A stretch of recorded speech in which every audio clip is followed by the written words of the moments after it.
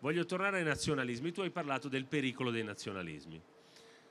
La Spagna ha eh, provato sulla sua pelle due mh, scontri, due battaglie con due nazionalismi diversi nell'ultimo mezzo secolo. Uno il nazionalismo basco e l'altro quello catalano. In giro nell'Europa, anche in Italia, sono, hanno avuto anche un percepito che fossero delle battaglie di libertà. Ci sono paesi democratici dove sono proibiti, il, questo si dimentica, ma sono espressamente proibiti parti, le associazioni e i partiti indipendentisti, come la Germania, per esempio. Ma in Spagna no. Ma quello che non è legittimo è violare la legge, cioè violare la, le regole del gioco. E da questo punto di vista, quello che è successo nella Catalogna nel, nel autunno scorso è stato, io lo chiamo un,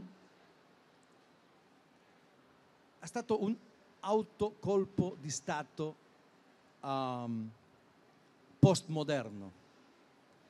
Che cosa vuol dire questo? Autocolpo di Stato postmoderno. Ecco, esattamente. Cioè, il colpo di Stato tradizionale, questo infatti, beh, il colpo di Stato tradizionale è stato Tejero, cioè è stato un colpo di Stato moderno, cioè antico, cioè con un uomo che arriva con, la, con il pistoletto e fa pim pim pim e decide militare.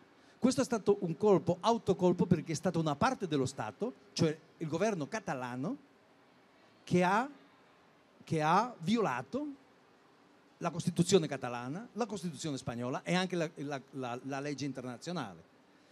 E lo ha fatto coscientemente. Questo non è un movimento di liberazione. Questo è un movimento che va contro le regole dell'Europa, cioè lo Stato di diritto, cioè la democrazia, cioè il rispetto delle regole. I mesi di settembre e ottobre dell'anno scorso sono stati i peggiori mes mesi della mia vita. La situazione nella Catalogna è stata durissima. Io ho parlato di un'atmosfera pre-bellica, pre-bellica, cioè c'era uno stato di confrontazione assoluta.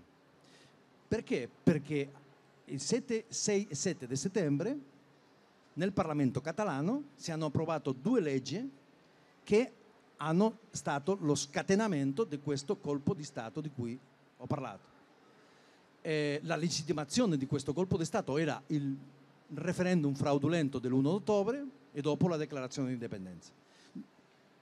Ecco, per questi due mesi la Catalogna è stato, la situazione reale è stata terribile.